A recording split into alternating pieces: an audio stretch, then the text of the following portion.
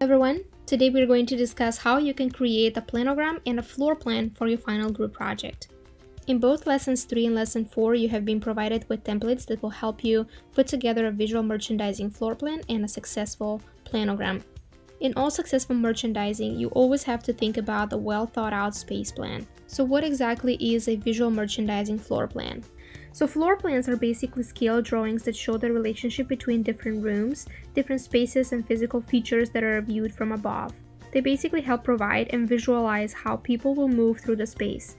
Floor plans really make it easy to check and see if the space is suitable for the intended purpose, to work through any potential challenges, and to redesign before moving forward um, into a more elaborate planning and building. Here's a pretty good example. When designing a merchandising floor plan, you need to make sure that you are taking into account the type of customer that is visiting your store and the merchandise that you're wanting to sell to maximize sales. The goal of the floor plan is to achieve proper placement of displays, products, registers, which in turn will result in more space and longer customer shopping time. A well-planned retail layout will allow the retailer to maximize the sales for each square foot of their allocated selling space. This can be done by featuring merchandise in an efficient way that encourages customers to basically consider making additional purchases while they're browsing. The store layout will generally show the size and the location of each department and any permanent structures, fixture locations, as well as customer traffic patterns. An efficient floor plan is the perfect balance of ultimate customer experience and maximize revenue per square foot. It is really important to commit to the customer experience when designing a floor plan. Retailers who deliver on the experience usually have higher revenues, even if the square footage is comparatively small. Even though the textbook doesn't really discuss too much about floor plans, I think it's really important for us to distinguish between the different types of floor plans that exist out there. The first type of floor plan is called a straight floor plan. This floor plan is most generally used due to the economic nature. It really helps make use of the walls and the fixtures to create a small space within the retail store. The downside of this plan is that um, it has sight lines in the stores and depending on the front entrance, it may be difficult for customers to see the variety of the merchandise. It's pretty simple but therefore economic in nature. The second type of floor plan is called a diagonal floor plan. This type of floor plan is really good for store layout, for self-service type of merchandise, and retail locations that serve that. It really does help offer the visibility for cashiers and customers. This type of floor plan, diagonal floor plan, invites movement and traffic flow into the retail location. This plan is more customer friendly. Unlike the straight plan, which can feel more like a maze, the diagonal floor plan offers the customers more of an open traffic pattern. The third type of floor plan is usually called an angular floor plan. And this type of floor plan is usually ideal for high-end specialty stores. The curves and the angles of the fixtures in the walls help to make a more expensive store design. However, the soft angles create better traffic flow throughout the retail store. This design usually has the lowest amount of available display space, so it's best for specialty stores who display um, edited inventories versus large selections. The fourth type of floor plan is called a geometric floor plan, and this one is usually very suitable for um, store design that have and that carry athletic clothing as well as different kind of um, performance wear. It usually uses racks and fixtures to create an interesting and out of the ordinary type of store design without high cost. This type of plan usually makes a statement about the products um, that the store really sells to the customers and what kind of customers they want to attract. So it really helps to make a statement that speaks to the messages that you want to associate with your brand. The last version, as you might have guessed, is called the mixed floor plan. This type of floor plan is usually the most frequently used when it comes to this particular group project. The mixed floor plan incorporates the straight, the diagonal, the angular floor plans in order to create a more functional store design. The layout usually moves traffic towards the walls in the back of the store. It really can be a solid layout for most any type of retailer. Some of the most admired examples of customer experience can be attributed to stores that have multiple shapes, different evaluations, as well as designs. This type of floor plan really can appeal to an array of customers. Please remember that in order to create your floor plan, you have to use the materials that are provided in class. Please note that you're not allowed to distribute any course material for personal or profitable use.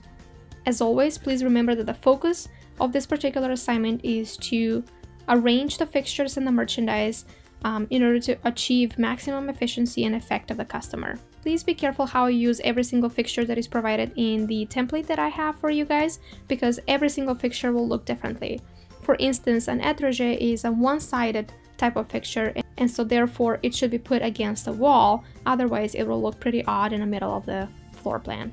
It is recommended that all provided fixtures have to be altered to their basic appearance, for example in the colors and the patterns and other visual merchandising materials and graphics, so that you can really help illustrate the idea um, and sell the merchandise to your specific retailer. As you can notice, I have provided two different artboards for you. The first artboard will have a sample of the most frequently used um, floor plan and merchandising fixtures. Things like cashiers and tables and mannequin stands, um, shelf units, round racks, windows, doors, window displays, um, and etc. In the second portion, I have provided you with a space where you can go ahead and start working on your floor plan. At the bottom, I have a section for you to write your concept statement, which is really important, to also add your visual merchandising fixtures, something similar to how I have provided the visual as well as the name in your artboard number one.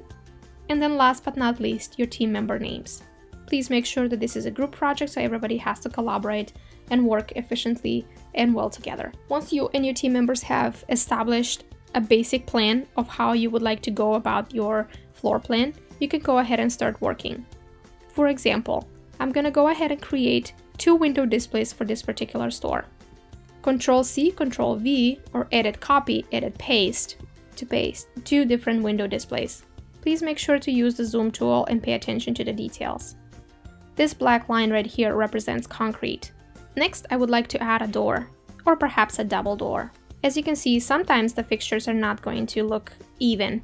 It might require you to use your selection tool or direct selection tool to manipulate the shapes. I'm gonna go ahead and increase the shape of this door. I'm going to go ahead and get started by creating the centerpiece first.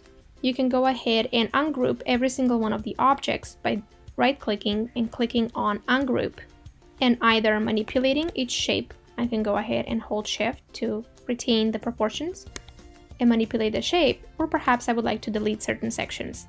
You can also change the color by clicking right here on your control panel menu or from your swatches section and change the color.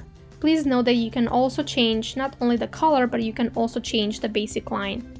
For example, I would like to add a wood feature.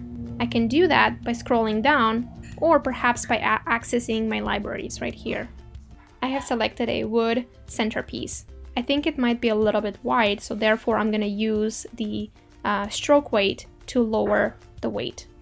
As soon as you and your team members have worked together to align all of the fixtures that are necessary to include in this floor plan, it's always important to remember and see if you have a good balance in your floor plan as well as if you have a good proportion. For example, even though you have a lot of information and content right here, it is possible that at times you're not going to find what you're looking for. If there is a fixture that is not available for you here, you're welcome to create it yourself. For example, I would like to create a counter that has that wood feature. Instead of using color, I'm going to go ahead and change the line to mahogany and keep the fixtures consistent throughout my floor plan. As soon as you and your team members have been able to establish a really good floor plan that has flow, accessibility, balance, is well organized, and is proportionate, you can go ahead and start working on your floor plan, concept statement, as well as your visual merchandising fixtures. It should look something like this. One last thing I would like to show you is how you can apply flooring like this. I'm gonna go back to your floor plan, and as you can see, the flooring is locked. I would recommend that you add the flooring only after you have finished and completed the entire floor plan. At that point, you can make your way to the layers, and from this drop-down menu right here where it says preloaded layers, please find the area that is locked. Go ahead and click on the locked button, and this will now allow you to select a floor plan. In order to add a floor plan that fits the visual and the aesthetic image of your retail store, you're gonna have to find a sample floor plan. To do that, you're going to go ahead and open Google, type in the type of flooring you would like to search. From the Tools menu, go ahead and make sure that you select labeled for reuse. Even though this particular floor plan is not going to be for profit, it's always safe to make sure that the images we find are going to be available um, and properly protected. Try to find a flooring image that has a top view. This is a really good example because I can see that the image itself is not very small, therefore it will be good in quality. I'm going to go ahead and right click, save image as.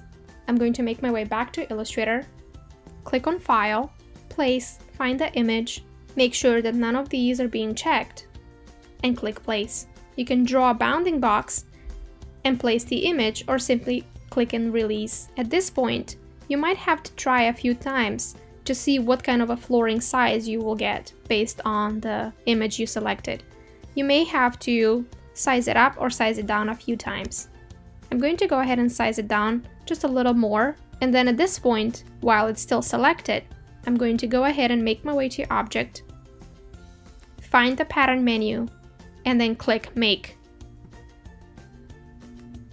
I'm going to go ahead and click OK and click Done. Now notice as soon as I click Done, in the swatches panel, you will see that my flooring has already been saved as a new pattern. At this point I can go ahead and select the floor plan and apply the flooring. If the flooring is too large, you may have to go back to the image, size it down some more, and repeat the process. Object, pattern, make.